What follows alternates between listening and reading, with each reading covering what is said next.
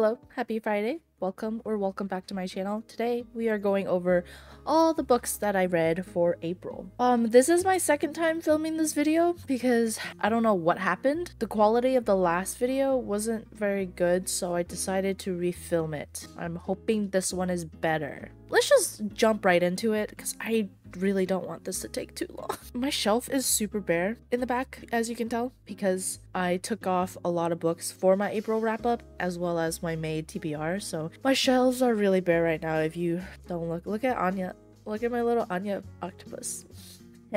okay, let's just jump right in. I put all the books that I read into subcategories. So we're gonna start with mangas and then we're gonna go to series and finish it off with standalone books. So let's jump right on in. To start off with the manga section, I read Ao Haru Ride, Volume 5. If you guys don't know what this is about, it's just a romance manga. It's about childhood friends meeting each other again and their whole friendship and love story. I gave this specific volume a 4 star. It was really cute. It had a lot of like the jealousy trope, which is fun to read. It's it's cute, but then it also had the misunderstanding trope, which is not so fun not so cute. So there's that. The only other two mangas that I read were A Silent Voice Volume 2 Volume 2 and Volume 3. This manga follows a deaf girl that meets this boy. When they were, I think, in elementary school and he bullied her really badly, she transferred. Ever since she transferred, he felt really, really guilty for how he treated her. So, years later, about when they're 18, 17, 18 ish, he wants to go find her. And he does eventually find her. He's just trying to make up all the lost time by reuniting her with friends that she could have had if she stayed and he didn't bully her. And overall, just him trying to be kind to her and wanting to be her friend. She has always been nice. She continues to be super nice to him even after reuniting and he does not understand why she's so nice because of everything that he put her through. I gave volume 2 a 4.5 and then I gave volume 3 a 3.5. Volume 2 was very cute. It was the whole thing of him apologizing and finding her kind of pulled on my heartstrings. Volume 3, it wasn't much about them. It was more so him trying to make things right for her and we meet a couple people from the past that just kind of annoyed me. So I didn't enjoy reading this one as much as I enjoyed the second one because of those characters, but not because of them specifically. I'm hoping to see more of them and their friendship specifically in the future volumes. So yeah.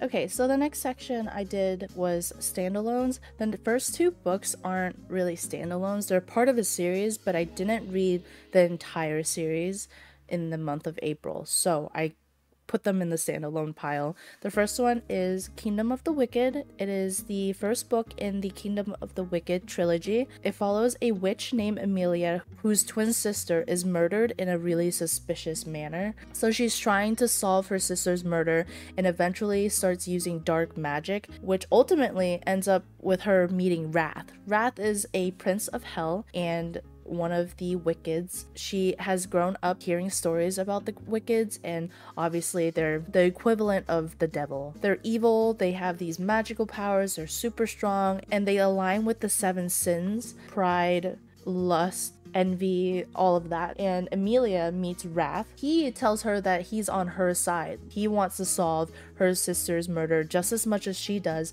because it affects him and his mission. So she doesn't believe him, but they end up working together trying to solve her sister's death. It becomes a whole bigger plot than just murder, trying to save the world, like all fantasy books. I gave this book a 3.5. It wasn't bad and it wasn't great. That's my overall opinion on it. Like, I wouldn't reread it, but I enjoyed reading it. I like the main character, Emilia. I really like Wrath. I think they are well written and enjoyable to read. I wish Wrath would be a little less serious and a little more fun, but it's fine. I am gonna continue the series. The second book is on my May TBR, and maybe I'll read the third one depending on how much time I have left or if the second one is really just that good. The next one that is in the series, but I didn't read it all together, was Heart of the Sun Warrior. This is the second book in the Celestial Kingdoms duology. The first book is called The Daughter of the Moon Goddess. It's by Sue Lynn Tan. It is a retelling of Chinese folklore about the moon goddess. It follows immortals. It's kind of like the Chinese version of heavenly beings. There's not much I can say about this book without spoiling the first one, so all I can really say is that it follows a girl named Xian, and it is a story about corruption and love and family, and she is powerful enough to save her kingdom. Yeah, sounds about right. If it sounds a little dull, in my opinion, it was a little dull. I gave the book a 2.5 star because I just, it wasn't for me.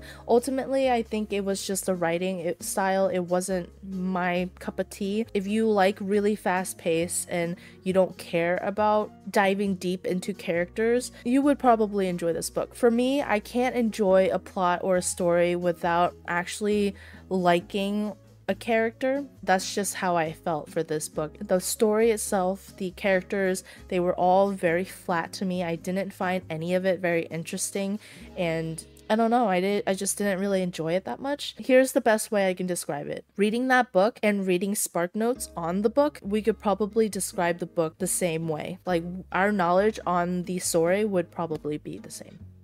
So, the rest of the books in this category are standalones. First one is The Seven Husbands of Evelyn Hugo, and obviously the story follows Evelyn Hugo. In the beginning of the book, we meet Monique Grant. She is a writer for a magazine company, and one day Evelyn Hugo says that she wants to do an interview, and the only person that she wants to write her article is Monique. Now, Monique is really confused by this because they've never met before, they don't have any type of personal connection, so why did Evelyn pick her, and how did Evelyn even come to know Monique. That is a mystery all in itself that you learn at the very end, but this whole book kind of goes through Evelyn's entire life because Evelyn is telling her entire life story Monique to write. It is so interesting. I think this is the perfect book for you if you are in a book slump. It is so fast paced and it's so, I wouldn't say fun to read, but interesting to read. The chapters are not long. I was flipping through super quickly and realizing I would finish a chapter and be like, oh my god, just one more just one more. It's also a really empowering feminist book, so if you like that, I recommend. I give this book a four star. Then I have The Nightingale by Kristin Hannah. This is a story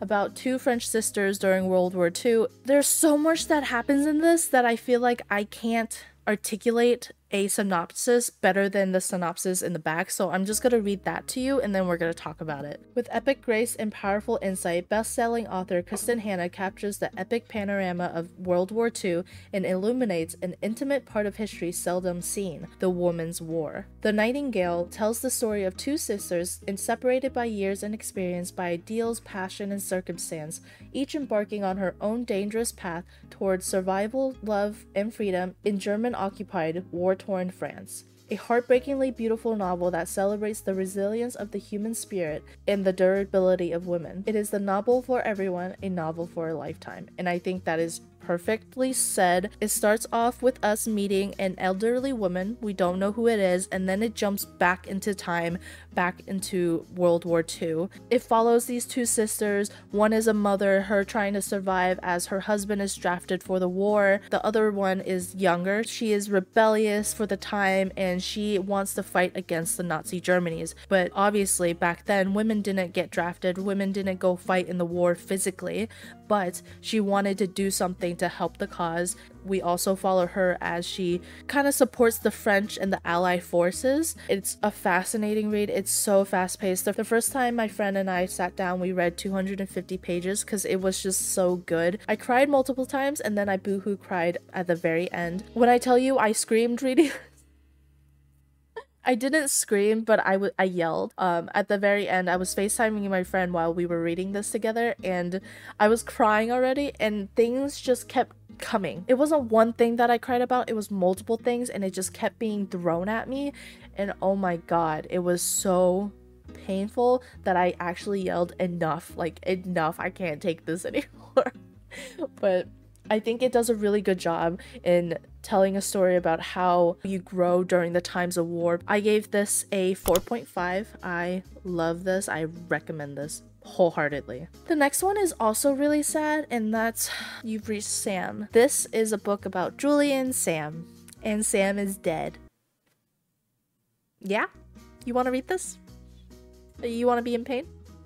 Yeah, you should read this. I enjoyed it. Sam passes away in the very beginning of the book, and it follows Julie through her grief. One day, Julie calls Sam because she just wants to hear his voice, she misses him, and he suddenly picks up. Now, this is weird, obviously, because he's dead, so he shouldn't be picking up his phone. They talk and she works through her grief of losing a loved one, and I think this is a really beautifully written book. A lot of people can relate losing someone you love, whether it's family or a significant other, so this really pulled on my heart. It made me tear up a lot, it made me cry at the end as well, and I gave this book a 3.5. There are some moments that I found Julie to be a little annoying, but the poor girl is in grief.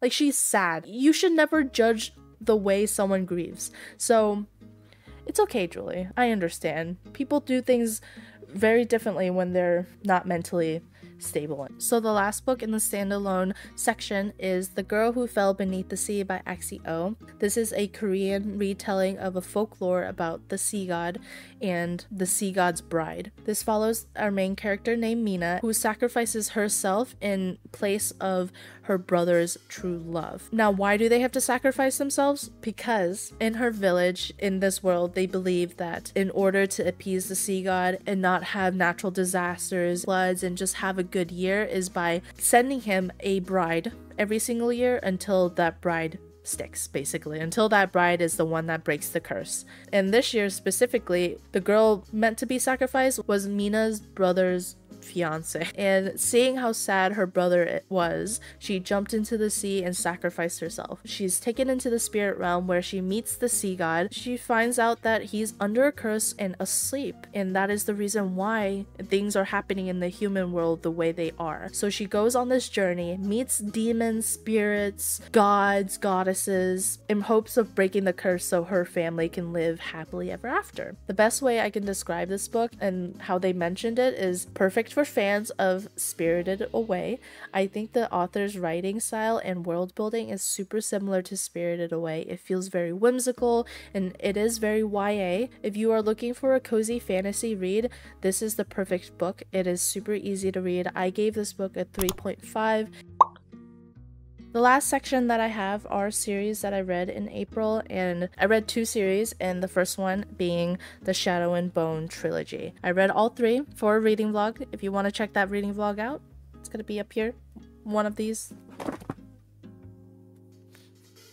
Okay, Anyways, they're like glossy, so they're super slippery. I'm sure most of you know what the story is, so I'm just gonna go over it really briefly. Our main character, her name is Alina, and she has this powerful dormant magic that could save the world, save her kingdom, but she didn't know she had it until she was thrown into a dangerous situation. This is a battle of corruption and betrayal, lots of betrayal, but also gaining a found family and that she finally belongs somewhere. Two reasons why I read this series, and one being that I wanted to watch the show on Netflix, and then the other main reason that I wanted to read the Six of Crows duology. I know you don't have to read this one, but I wanted to get the world building and everything before I started that.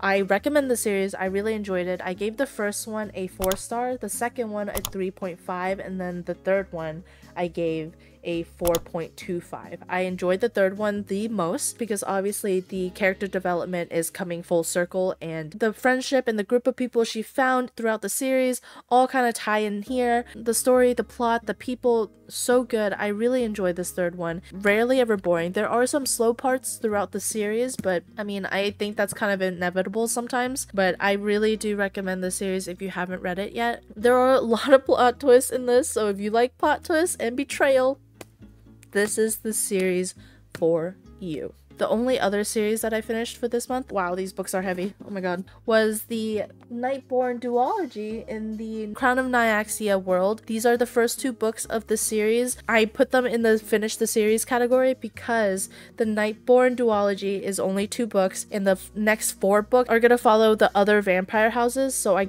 kind of just said this was a series in its own. And this follows our badass main character, Oraya. She is a human girl adopted by the Nightborn King. She is raised basically to fear her weakness as a human compared to a vampire. She is tired of being human and seen as prey, so she joins the Kejari, which is kind of like a Hunger Games esque competition where people from all three vampire houses are able to join and only one person is able to win. It's obviously a tournament to the death. The winner gets a wish from their goddess, Nyaxia herself. Our girl joins it and she meets Rain. There is romance in it. I don't think I qualify to determine the spice level, so I'm not gonna rate the spice le level, but in my opinion, there is spice. I'm not gonna rate it because some of you might come for me saying like, oh, it's not that spicy or oh my god, it's so spicy. So I'm just gonna leave it. It's very action packed. I gave this a four star. I really, really enjoyed it.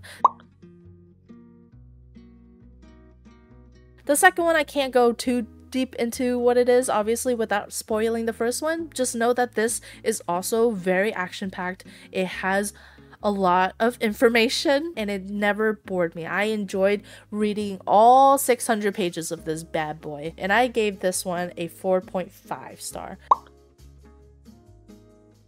The only reason why it wasn't a five star is because I think that because it's only two books, I didn't get enough time to really feel attached to the characters. For example, books like ACOTAR and Throne of Glass, there are so many books in the series that I have so much character development and character background for me to really love them. With that said, Carissa Broadbent does a really good job. Her writing is magnificent. She does a really good job with world building and character building. I love Oraya. I love Rain. I love another character that you meet in this series, but I'm not obsessed with them. I'm very close to. I think once I get more books in the Nyaxia series, I will become obsessed. This is a really fun read. If you enjoy heavy fantasy, vampires, betrayal, romance, action and a really badass female main character, I highly recommend this book. If you love Throne of Glass and you love the main character for Throne of Glass, this is for you.